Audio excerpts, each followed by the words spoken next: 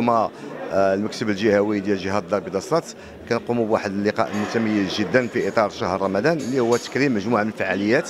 اليوم الفعالية اللي غنكرموها هي الفعاليات الفنية طبعا الحال معنا الدري الصاروخ وهذا لقاء سمر آه، ليلي من أجل اولا الارتقاء بالفن والإبداع. وكذلك مناسبة للاعتراف بما قدمه آه، الفنان المخرج والمتألق والمبدع والممثل دري الصاروخ وأكيد جدا أن الجمعيه المغربيه الشبيبة في هذا اللقاء هذا وفي هذا السمر آه، الليلي. غتكون في الموعد مع الأصدقاء والضيوف ديالنا. وهذا سمر آه، فيه متعة جميلة جدا. هو الاعتراف بالأجيال آه، اللي عطات بصمة حقيقية للإبداع في مجال المسرح والسينما والتلفزيون. اليوم جهه البيضاء ستات لاميج. كتنظم واحد اللقاء تكريمي لفائدة مخرج التلفاز مخرج التلفازي الأخ دريس الروخ. ويأتي هذا في إطار الأنشطة التكوين وكذلك الأنشطة التكريمية التي تقوم بها الجمعية المغربية الشبيبة وكذلك ياتي هذا في إطار السمر الرمضاني الذي تنظمه الجهة كل كل سنة.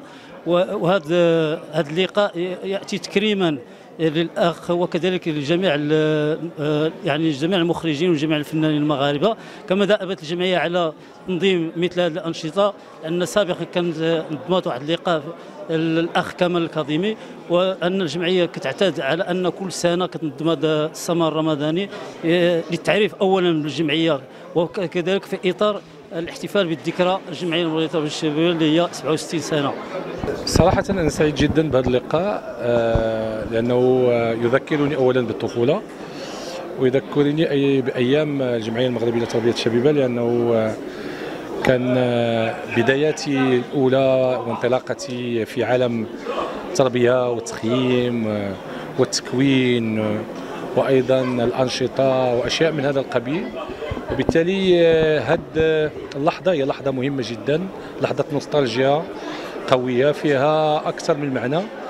كنشكر كل القائمين على هذا اللقاء وكنشكر أيضا كل من فكر ودبر هذه المؤامرة الجميلة جدا لأن فيها أشياء تحييني وفيها أشياء آه، كترجعني إلى الماضي.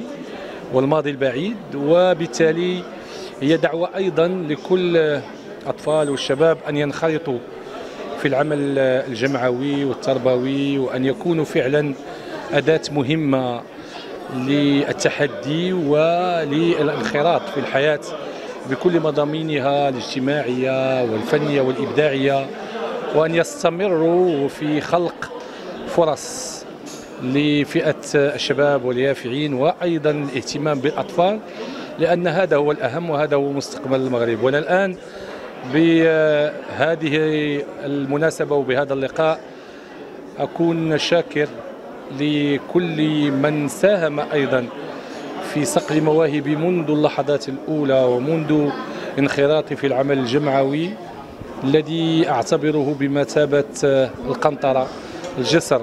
الحقيقي للتواصل مع المستقبل وشكرا.